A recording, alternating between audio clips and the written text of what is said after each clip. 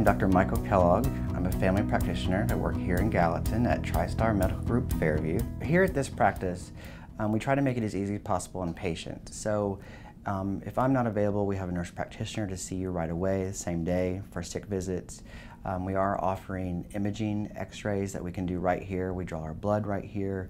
So we try to make it as easy as possible for the patients just to stay and not have to travel outside. I get most of my referrals from word of mouth, whether it be friends or family, and I think it's because I take my time. I think most people are coming to a doctor to find out information. And if you if you're willing to sit down with them, show them, explain, and answer some questions, I think they automatically start to trust you better. And once you have that trust, it's so much easier to treat their condition.